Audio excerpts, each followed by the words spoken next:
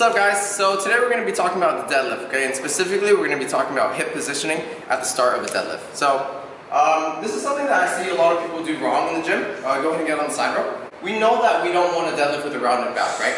But a lot of people are going to be trying to overcompensate this and they're going to be hyperextending their spine and putting themselves in anterior pelvic tilt. So what this looks like is uh, like this. So get more on the side row. So a lot of people think that the way to correct a rounded back is to arch your back, right? And they'll think of arching their back like this.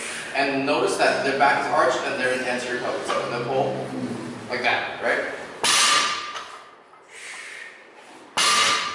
So we know we don't want to round rounded back, but arching and overarching like that isn't the way to fix it. So when you're arching like that, guys, what you're actually doing is putting yourself in anterior pelvic tilt, and you're actually disengaging your core, right? So you actually want your entire core braced, front, side, back, all of it. So if you're just overarching to try to have your back muscles take the strain, then you're gonna be shutting off the core muscles right here. And you actually want your entire core stabilized to prevent rounding, right?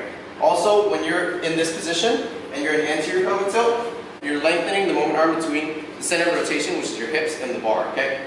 So you're here. If you notice, if you put yourself in anterior pelvic tilt, this moment arm right here, between your hips and the bar, gets longer.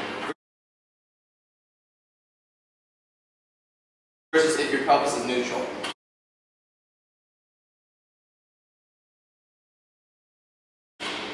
Okay?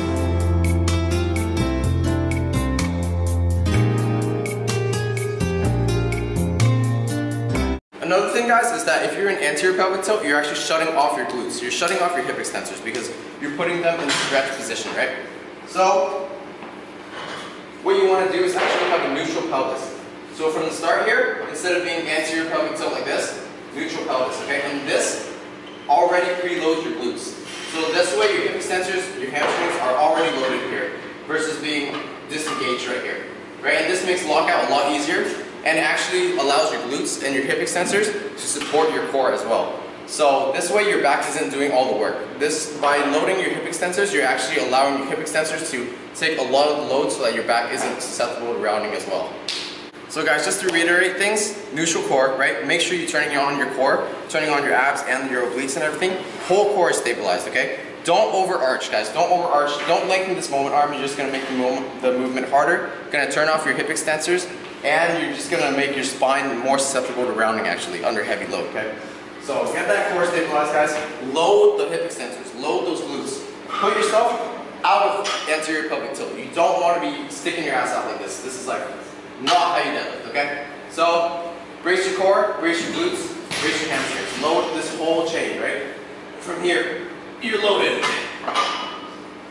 Neutral pelvis, okay? Not this. Neutral.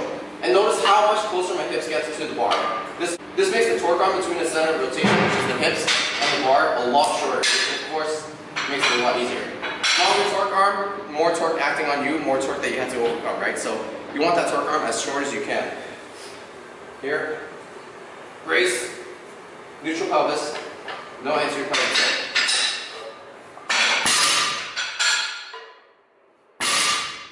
Also guys, if you're in a position of anterior pelvic tilt, locking out is going to be really hard because, because you're going to be coming from anterior pelvic tilt, trying to get to neutral and posterior, right? If you're starting neutral, hip extensors already on, pull, can lock right out. That's it for this one, guys. Thanks for watching. I uh, hope you guys learned something. And if you guys did, if you found it useful and stuff, leave a comment, uh, hit the like button, subscribe and all that. And I'll see you guys in the next one.